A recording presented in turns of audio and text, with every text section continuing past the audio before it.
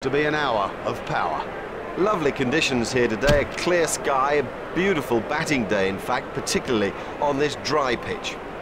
Looking at the surface, I'm slightly surprised he's decided to bowl first.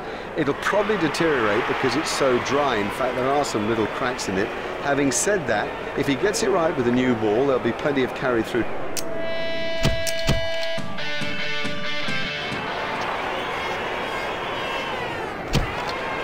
Welcome back to the second half of this riveting encounter. Alongside me in the commentary box, and we're ready for play, is Richie Beck.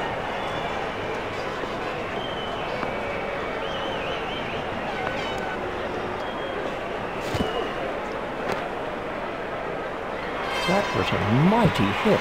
No, the bowler won't be happy about that.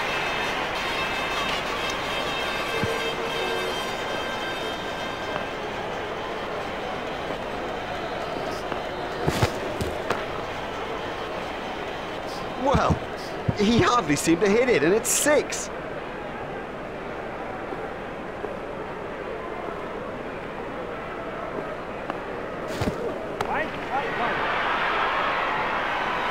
Effortless, brilliant, and maximum.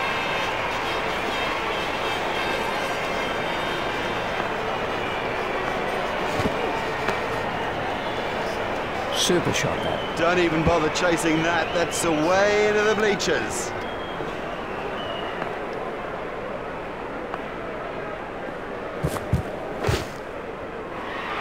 Great strike. Great strike. Six from the moment he hit it. Beautiful piece of batting that.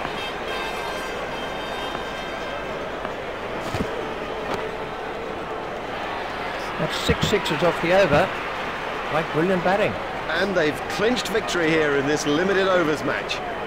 It's goodbye from Richie and from me, Mark Nicholas. We bid you farewell and hope you'll join us in the future.